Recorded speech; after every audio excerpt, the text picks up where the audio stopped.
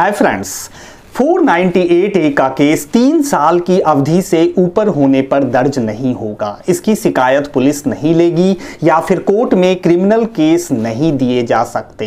साथ ही साथ ये टाइम बार्ड है। इसको बोलते हैं 468 सेक्शन सीआरपीसी जिसके तहत 498 ए के केस को तीन साल की अवधि से ज़्यादा वक्त में फ़ाइल करने पर की सुनवाई नहीं होगी।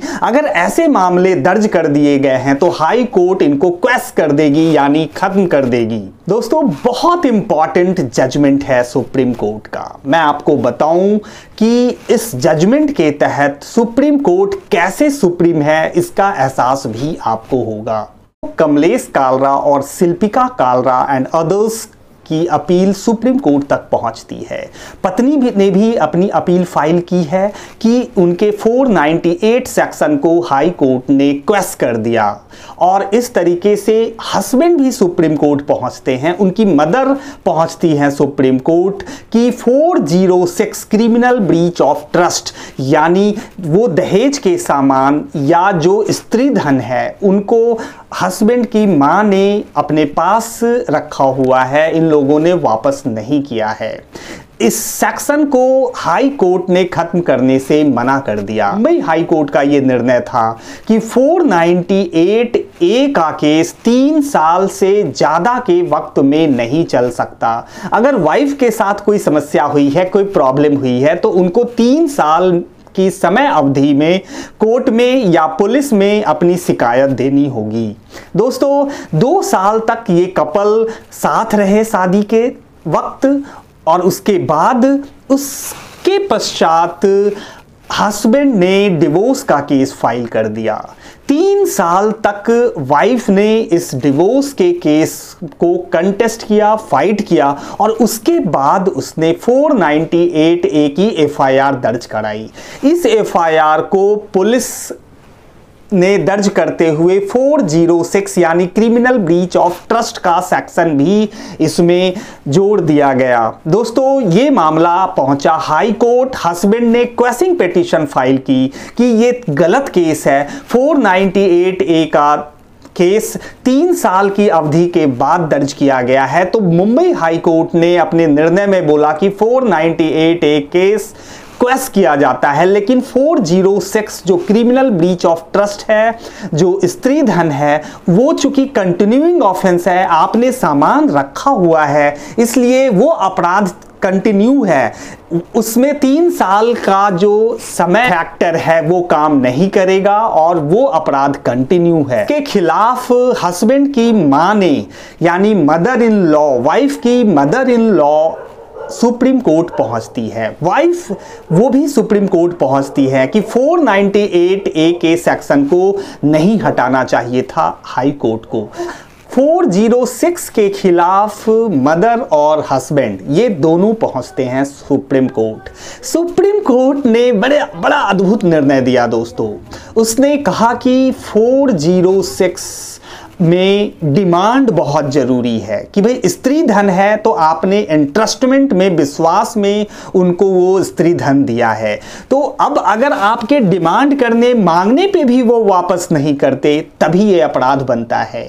और पत्नी ने अपने किसी भी शिकायत में ये नहीं लिखा कि उन्होंने उनसे ये मांगे और उन्होंने देने से मना कर दिया। सुप्रीम कोर्ट का ये ऑब्जर्वेशन यूनिक है दोस्तों। यानी सिर्फ़ ये कह देना कि मेरे सामान इन्होंने रखा रखा हुआ है। इसलिए 406 का सेक्शन ऐड कर दिया जाए, ऐसा नहीं है। आपको मांग करनी पड़ेगी और और मांगने के बाद अगर वो सामान वापस नहीं करते तो 406 का सेक्शन आईपीसी का बनेगा। सुप्रीम कोर्ट ने यह भी कहा कि हस्बैंड ने कुछ सामान थाने में दर्ज जमा करा दिए हैं। वाइफ की की जो सामान थे, उन्होंने लेने से मना कर दिया कि ये सारे सामान मेरे नहीं हैं। उन्होंने बाद में एक दूसरी लिस्ट दी और दोनों लिस्ट में डिफरेंस है। दोनों लिस्ट को काफ़ी अंतराल में, समय के सीमा से बाहर फ़ाइल किया गया है। इन चीज़ों को भी सुप्रीम कोर्ट ने देखा। इस तरीके से उन्होंने कहा 406 भी नहीं बनता। 498 ए को मुंबई हाई कोर्ट ने पहले ही खत्म कर दिया था। जिसके खिलाफ वाइफ सुप्रीम कोर्ट पहुँची थी। दोस्तों, हस्बैंड और उनकी माँ 406 को हटाने के लिए सुप्रीम कोर्ट पहुँची और कैसे सुप्रीम कोर्ट ने एक यूनिक ऑब्जर्वेशन दिया। और इस ऑब्जर्वेशन के तहत सुप्रीम कोर्ट ने कहा कि ये 406 का सेक्शन भी नहीं बनता। ये बहुत इंपॉर्टेंट केस है दोस्तों। सुप्रीम कोर्ट ने इसमें बहुत ही यूनिक जजमेंट पास किया है, हस्बैंड और उनकी फैमिली मेंबर्स के पक्ष में। सुप्रीम कोर्ट ने कहा दोस्तों कि साफ़ प्रतीत होता है कि पत्नी द्वारा ऐसी क्रिमिनल कंप्लेंट फ़ाइल करना एक प्रेशर टैक्टिक्स है, जिसको यूज़ करते हुए वो दबाव बनाना चाहती है। इसमें सच्चाई नहीं है, ये पूरी तरह क्वेस होना चाहिए। यानी 498 ए ही नहीं 406 स्त्री धन, क्रिमिनल ब्रीच ऑफ़ ट्रस्ट के सेक्शन भी खत्म होने चाहिए। पत्नी ने अपनी एफआईआर में कहीं भी ये ज़िक्र नहीं किया है कि ये सामान उनके पास दिए गए और उन्होंने इसकी मांग की, वापसी की मांग की और उन्होंने नहीं लौटाया। इस वजह से ये सेक्शन नहीं बनता और पूरी तरह सुप्रीम कोर्ट ने इस मामले को खत्म कर दिया क्वेश्चन कर दिया। दोस्तों, ये बहुत यूनिक जानकारी थी और इस जानकारी को आपके साथ शेयर करना बहुत ज़रूरी था। और साथ ही साथ मैं आपको बताऊँ दोस्तों कि किसी भी मामले को जो 498 से जुड़ी कंप्लेंट या एफआईआर है, उसके अंदर की टेक्निकलिटी को समझना बहुत ज़रूरी है। उसी में समाधान है, उसी में रास्ता मिलेगा उसको क्वेस्ट कराने के। और कोशिश करें कि वो हाई कोर्ट के जो खास पावर हैं 482 के तहत हाई कोर्ट के पास इनहेरेंट पावर है एफआईआर को क्वेस्ट करने का, खत्म करने का। कुछ लोग पूछते हैं दोस्तों कि ये कैसे खत्म होगा? क्या हाई कोर्ट ये कह देगी कि आप ट्रायल में जाओ? आप ट्रायल फेस करो, वहाँ खुद को निर्दोष साबित करो। दोस्तों, ये कुछ बातें हैं, कुछ चीज़ें हैं टेक्निकलिटी हैं जिसको फॉलो करें और उनको देखें, उनको ऑब्ज़र्व करें और आपको लगता है कि आपके केस में पहली नज़र में आप हाई कोर्ट या सुप्रीम कोर्ट कोर्ट को विश्वास दिला सकते हो कि ये झूठी एफआईआर है। ये टैक्टिक्स के रूप में उन्होंने फ़ाइल की है प्रेशर बनाने के लिए फ़ाइल की है। ऐसी एफआईआर रद्द हो रही है क्वेस्ट हो रही